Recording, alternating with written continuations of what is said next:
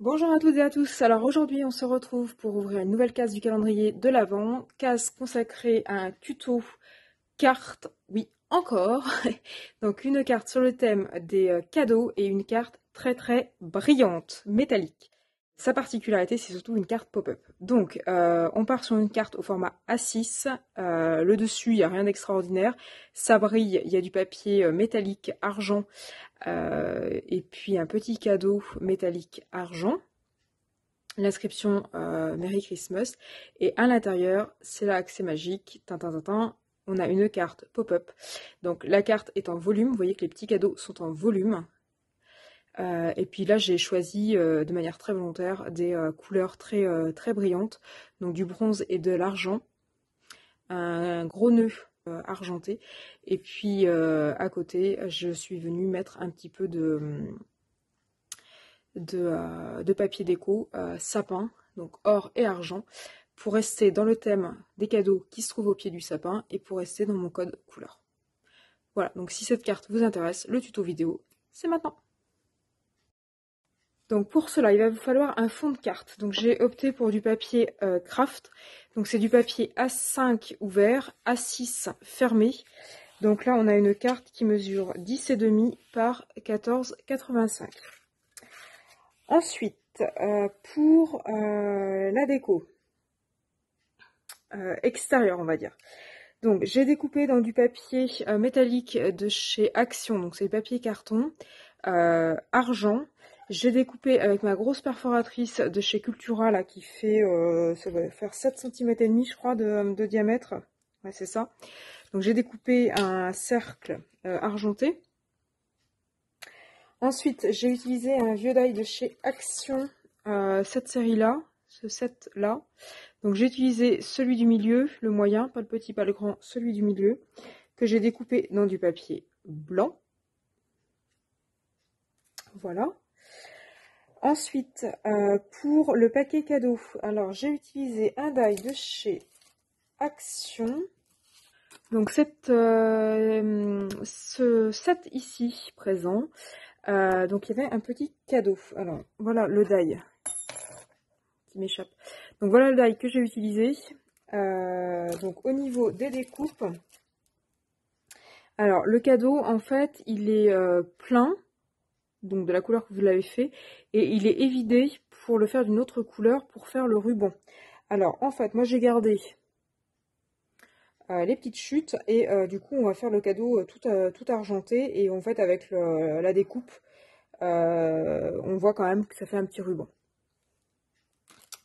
Donc voilà pour ça. Et la dernière chose, sur la page, la première page, le Merry Christmas que j'ai découpé dans du papier blanc et en fait, ça venait d'un die de chez Action, comme ceci. Donc les die à 99 centimes. Alors pour l'instant, euh, il n'y en a plus beaucoup. Donc voilà. Euh, ça, c'est pour l'aspect extérieur de la carte.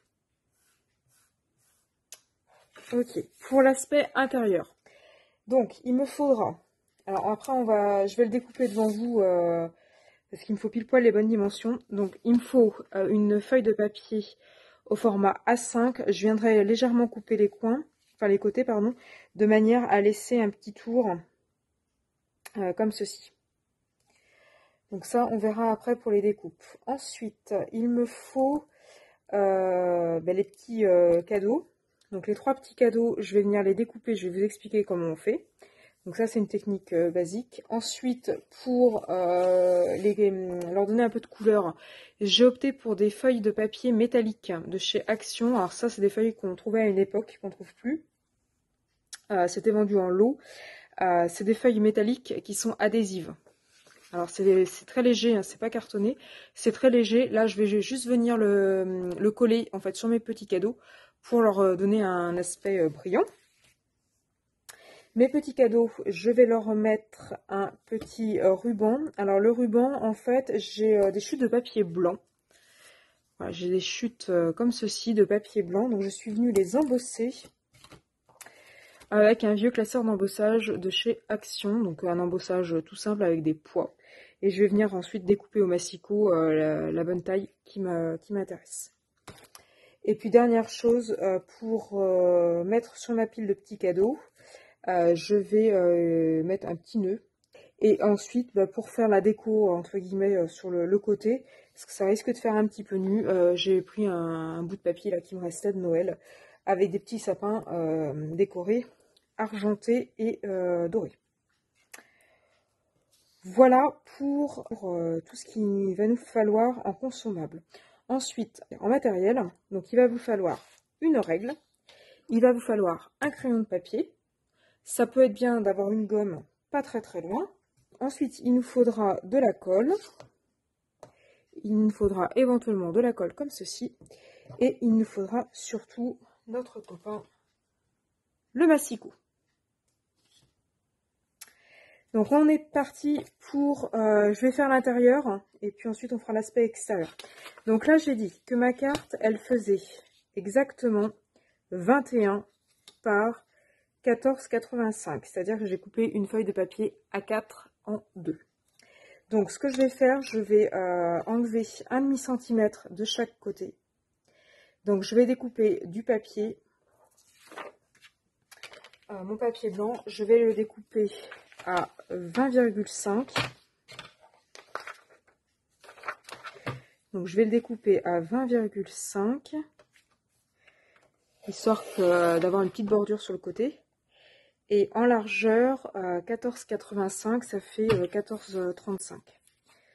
Donc à 14,35.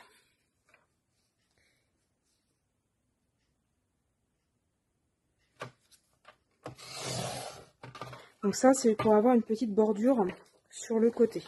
Donc là, effectivement, voilà, ça vient pas se coller pile poil. Donc c'est fait pour. Donc mon papier, je vais venir le plier en deux. Pour l'instant, le massicot, on n'en a pas besoin. Donc mon papier, je vais venir le plier en deux. Et je vais venir euh, faire des, petits, euh, des petites marques. Alors, je vais faire des marques euh, comme je vais faire trois cadeaux, ça va me faire 4 espaces. Donc si je veux que ce soit homogène, 14,85 divisé par 4, ça fait 3,7. Donc je vais venir à 3,7, à tous les 3,7, marquer. Alors, vous n'êtes pas obligé de le faire de manière régulière. Hein. Moi, c'est juste pour avoir... Euh, ça ça doit pas être 3,7. Euh... c'est pas très grave, on peut le laisser comme ça. Vous n'êtes pas obligé de faire pile poil de manière régulière. Ensuite, je vais venir faire euh, des, des traits horizontaux. Alors, attendez je me positionne correctement. Donc, je vais venir faire des traits horizontaux, comme ceci au niveau de mes petites marques à 3,7. C'est pour me faciliter la mesure et la découpe. De toute façon, ces traits, ils se verront pas. Ils seront placés, ils se verront pas. Donc maintenant, je vais venir faire des traits euh, sur mes traits horizontaux. Donc là, je vais marquer à 4 cm. Ici, je vais marquer à 3 cm. Alors, vous n'êtes pas obligé de prendre les mêmes dimensions que moi. Euh, j'ai pris 4, 3 et 2 pour que ce soit harmonieux, qu'en fait, à chaque fois, on fasse plus 1. Donc, si vous voulez, vous, pouvez prendre d'autres mesures. Voilà. Euh, je crois qu'on est bon. Donc, maintenant, vous allez venir découper avec votre ciseau. Alors, vous pouvez le faire en massicot si vous voulez, mais je pense que ce sera plus pratique avec le ciseau. Vous allez venir découper sur le trait vertical, enfin le trait là, vous allez venir découper jusqu'à la petite marque qu'on a faite. Je fais pareil pour le deuxième. Je fais pareil pour le troisième.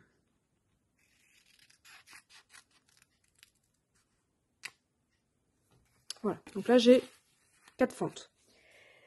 Bon, j'ai pas révolutionné la technique du pop-up, mais euh, donc maintenant, vous allez venir euh, plier comme ceci, comme ceci et comme ceci.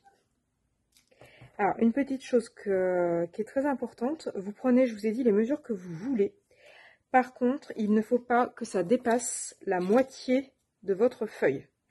Parce qu'en fait, ensuite, nous allons venir ouvrir et on va venir euh, plier ah, donc les cadeaux dans l'autre sens. C'est-à-dire, les cadeaux, on va faire une montagne et euh, la carte, on va faire une, des vallées. dit autrement, quand on plie, on obtient ça. Quand on plie sur l'envers. Et quand on plie sur l'endroit, voilà ce qu'on obtient. Donc là, je disais, si vous avez dépassé la moitié quand vous avez coupé, vous allez très très loin, votre pli là euh, va sortir en fait de votre feuille. Donc vous voyez que là, mon, mon cadeau est encore à l'intérieur. Si vous allez trop loin, votre cadeau va sortir et ça va vraiment pas être joli. Donc voilà, ma carte pop-up cadeau est prête. Donc maintenant, il n'y a plus qu'à passer euh, au montage et euh, à la déco. Donc l'idée, c'est qu'on va venir le plier comme ceci. On va venir le coller à l'intérieur comme ceci. Et quand on va l'ouvrir, du coup, quand on va l'ouvrir, Tintin, on a des magnifiques cadeaux.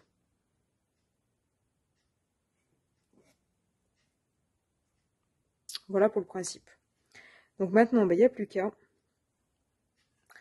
donc, on va venir euh, coller. Alors, je vous conseille, euh, j'utilise la colle bâton, euh, je vous conseille en fait de venir appliquer de la colle sur une partie,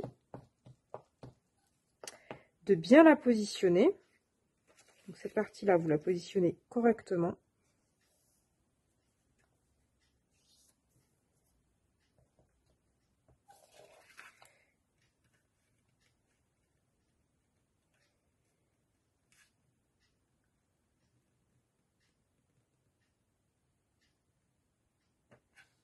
Essayez bien de centrer, de bien laisser votre petite marge. Voilà.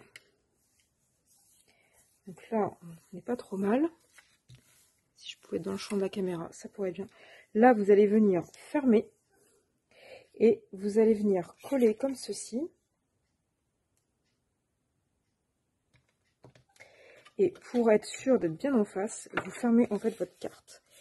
Et là, vous êtes assuré que ça va bien être en face et que ça va bien faire le pop-up comme il faut. Donc voilà pour euh, le montage.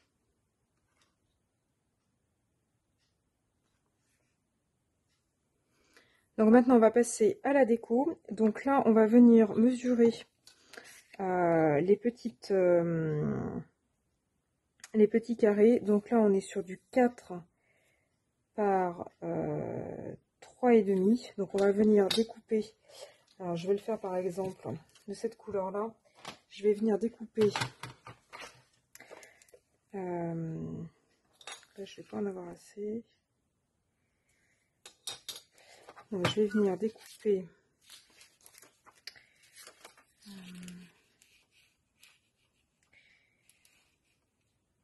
attendez, je vais découper rapidement au droit.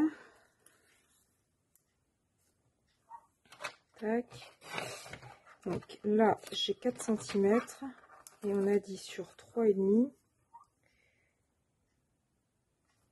Donc là, normalement, j'ai de quoi faire le premier cadeau.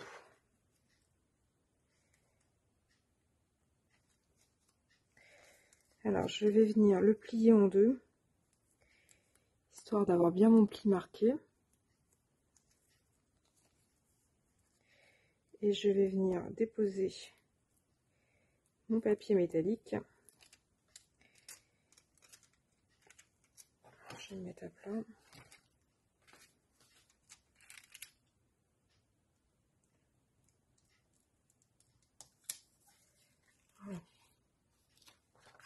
Là, j'ai mon premier cadeau.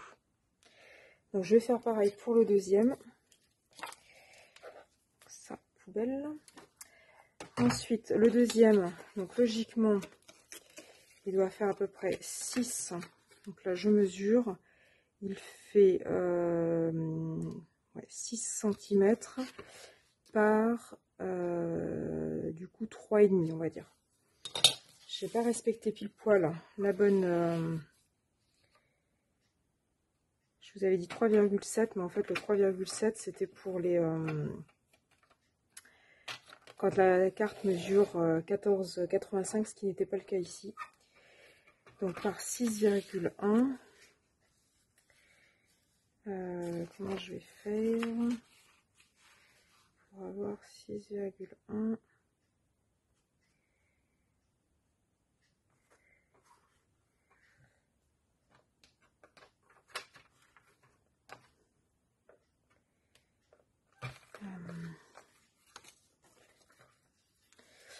j'aurais voulu, hop, on va faire comme ça. Voilà. Donc ça c'est pour le deuxième. Et je vais faire pareil pour le troisième. Donc le troisième, il doit faire 8 euh, par 3,8. 3,7 pardon. Donc 8 par 3,7. Euh, ça, ça va être trop petit, ma petite chute. Donc je vais recouper. Donc 3,7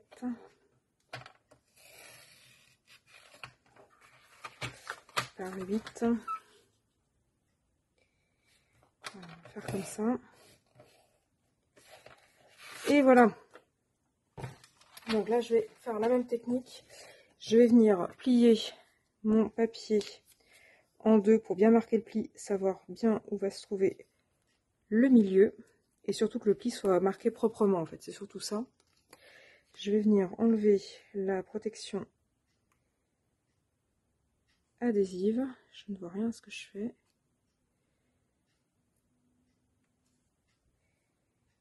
Donc je vais venir enlever la protection adhésive. Enfin, si j'y arrive, quoi. Voilà. Et je vais venir positionner tout ça au bon endroit.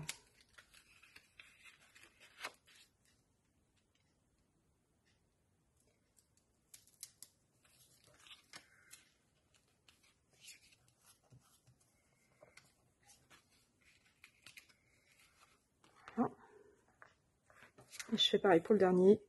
Je viens marquer le pli et je vais venir enlever la protection adhésive. Et du coup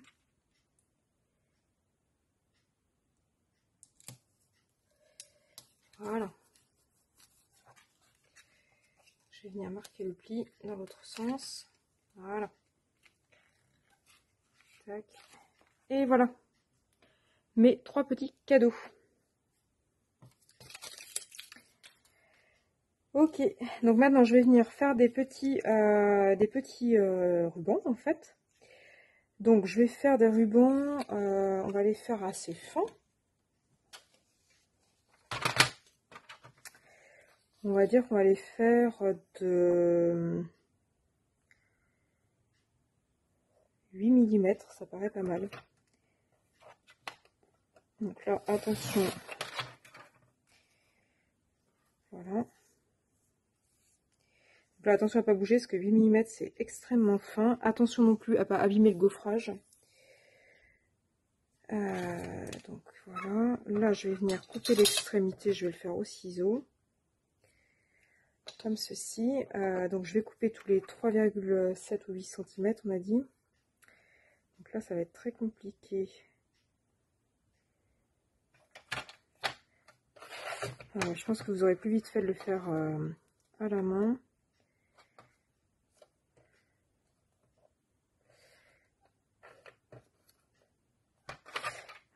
Très très fin.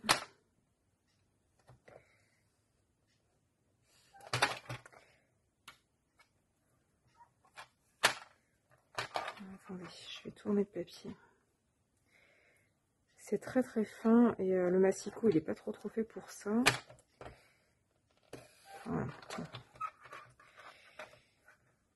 c'est pas très grave. De toute façon, si on en loupe pas, on peut euh, toujours euh, refaire un autre. là, je vais revenir couper au droit. Hop.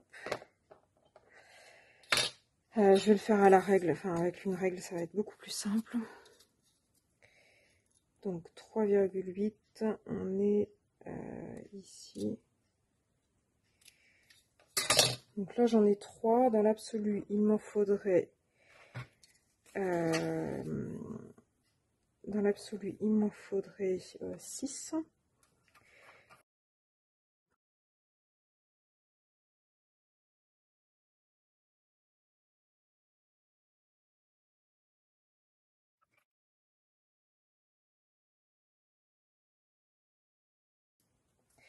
Donc j'ai mes petits rubans. 1, 2, 3, 4, 5, 6. J'en ai même 7 s'il faut. Euh, bon, celui-là, je vais le laisser. Tac, tac et tac. Donc maintenant, je vais venir les positionner sur ma carte.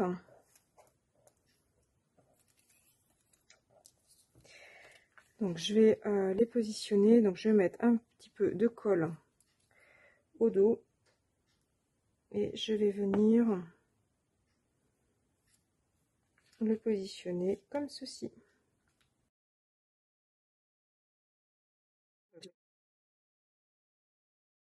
Donc vous voyez, là ça dépasse un petit peu, donc je vais venir couper. Tac. Là c'est pareil, je vais venir juste couper. Et voilà. Donc voilà mes petits cadeaux. Donc là j'ai pris du blanc, hein. vous pouvez prendre euh, une autre couleur. le blanc ça ressortait bien sur le côté métallique mais ça ressort pas beaucoup là-dessus. Mais de toute façon comme ça je vais le, modifier. Euh, avant de le perdre je vais coller mon petit nœud. Euh, ben, finalement il est un petit peu petit mon pauvre nœud. après il y avait un set de chez Action avec des un set de de chez Action avec des nœuds. Au pire, vous pouvez en reprendre. Donc là, je vais bien euh, plier le nœud pour que bien que ça... Je vais venir plier le nœud pour euh, par rapport à la pliure de la carte. Je vais venir mettre un petit point de colle.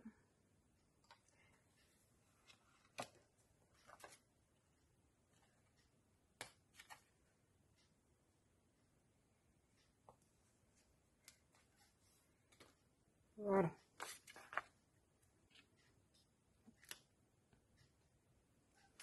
Donc voilà ce que ça donne. Donc maintenant, on va habiller un petit peu le côté, parce que là, ça fait un petit peu nu sur le côté. Donc là, j'avais du papier, euh, je vous disais, avec des petits sapins. Donc ce qu'on va faire, on va venir euh, découper un morceau de papier de taille, on va dire 5 et demi. Normalement, là, on doit être symétrique. Donc on va dire 5 et demi par, euh, par 14.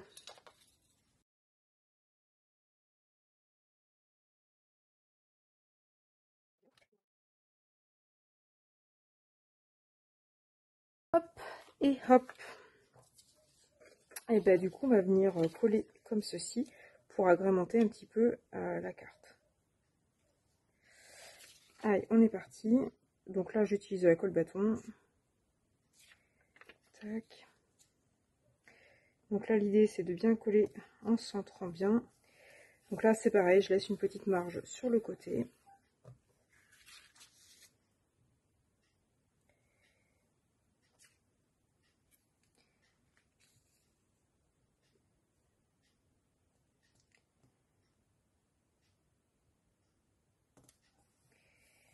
Et voilà. Donc voilà l'intérieur de ma carte. Si ça vous dit, vous pouvez mettre des petites paillettes, des petits strass, des petits trucs. Je trouve que ça fait déjà assez brillant. Et donc sur l'extérieur, du coup on l'a pas fait l'extérieur. Donc là je vais venir coller mon cercle euh, métallique. Je vais venir coller mon cercle métallique, je vais le mettre assez haut. Je vais le centrer de manière horizontale, mais pas de manière verticale. Alors, hop. Donc là, il faut bien appuyer, parce que le, ce papier de chez Action, il faut vraiment appuyer pour pas qu'il se décolle. Donc ensuite, je vais venir coller euh, ceci. Donc là, je vais mettre de la colle bâton au milieu. Et je vais venir mettre un petit peu de colle pipette sur les, euh, les petits bouts. Sur la petite dentelle.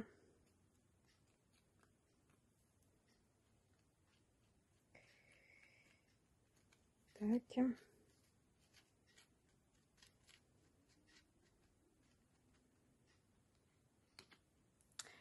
Voilà, donc je vais venir le coller au milieu.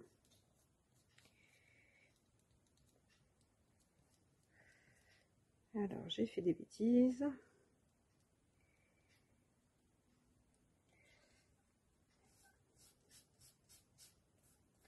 Il faut vraiment essuyer l'excédent de colle.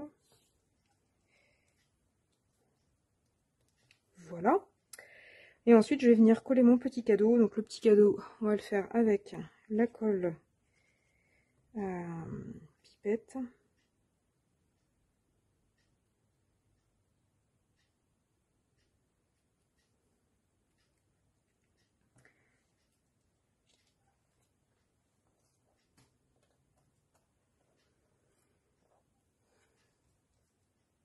Je vais venir mettre de la colle directement à l'intérieur, ça va aller plus vite. Je vais venir faire mon petit puzzle. Il va bien falloir appuyer parce que ça relève.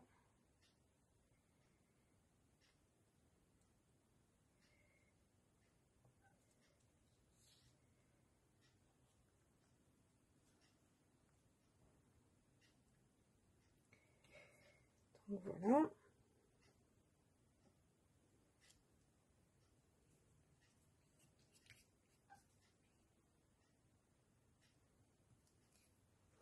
Et puis je vais venir mettre mon inscription Merry Christmas. Donc je mets de la colle pipette. Alors elle est très jolie mais elle est très très fine donc c'est un petit peu la galère pour euh, mettre de la colle.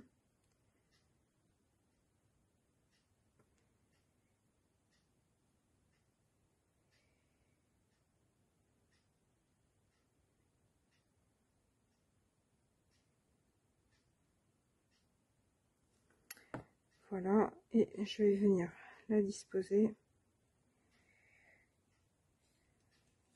Donc là, je centre bien et je fais bien adhérer.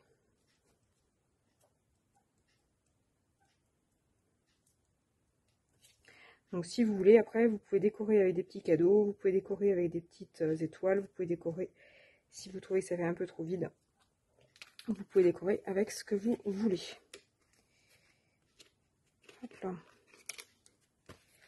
Donc voilà, ma carte est maintenant terminée. Vous avez une jolie carte tout en brillance, tout en métal. Donc mon petit paquet cadeau dessus, avec Merry Christmas. À l'intérieur, un pop-up avec un paquet cadeau. Le petit nœud fait un petit peu ridicule. Euh, il est un peu petit. Je ne sais pas ce que vous en pensez. Euh, le petit nœud fait peut-être un peu euh, petit. Si vous en avez un plus grand, il n'y a pas de souci. On peut en mettre un. Euh, on peut éventuellement en mettre un vrai euh, en tissu. Donc dites-moi ce que vous pensez de mon petit nœud. Là, je pense que voudrais quand même plutôt remettre un, plus gros ou, un, en tissu. Et puis voilà, sur le côté, le petit, euh, les petits sapins. Bon, finalement, on va opter pour un nœud un peu plus grand. Donc j'ai pris un die de chez Action. Donc cette série-là, je viens de découper ce petit nœud-là dans du papier argenté. Je vais enlever mon petit nœud qui me paraît un peu trop petit. Et je vais venir, donc pareil, mettre de la colle. Je pense que le, nœud vaut mieux qu'il soit plus gros que plus petit. Surtout en période de fête. Donc là, but du jeu, hop, on va recoller ça comme ceci. Tac. Voilà. Ma carte est peut-être un peu plus jolie avec le gros nœud moi ce que vous en pensez de mon petit nœud ou de mon gros nœud. Je pense que le gros est quand même plus joli. Voilà pour cette carte. Donc si cette carte euh, vous a plu, euh, n'hésitez pas à me le mettre en commentaire. N'hésitez pas non plus à me faire des remarques sur mon petit nœud. Euh, voilà, et puis de manière générale, si mes vidéos vous intéressent, n'hésitez pas à liker et surtout à vous abonner si ce n'est pas encore fait. Et puis moi je vous dis à bientôt sur ma chaîne YouTube.